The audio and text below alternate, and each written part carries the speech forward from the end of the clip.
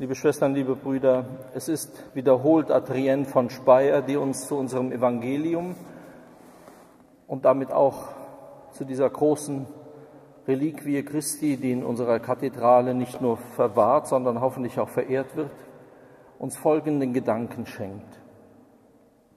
Unter den Kleidern des Herrn befindet sich der Leibrock, der nahtlos aus einem einzigen Gewebe besteht. Dieser Rock, den er trug, ist Gleichnis seines Lebens. Auch sein Leben ist nahtlos vom Anfang bis zum Ende.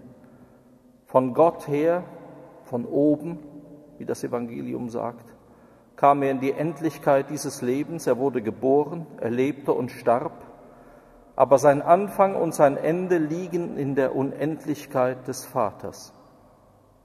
Sein ganzes persönliches Wesen ist dasjenige, das ihm vom Vater mitgegeben worden ist.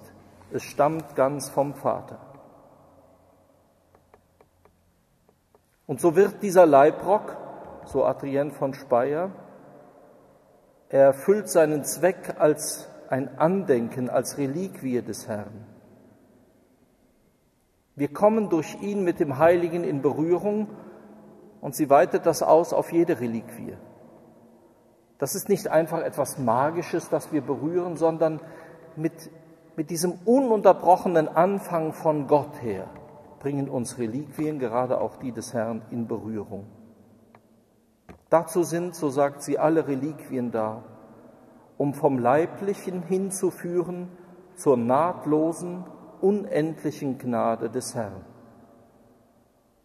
Auch wenn eine Reliquie einmal die Gesundheit eines Kranken erwirkt oder sonst die Erhörung einer Bitte, so ist die erhaltene Gnade darum doch nie eine beschränkte Gnade. Jede Erhörung ist immer nur Anlass für die Erweiterung des Glaubens und der Liebe, die in sich grenzenlos sind.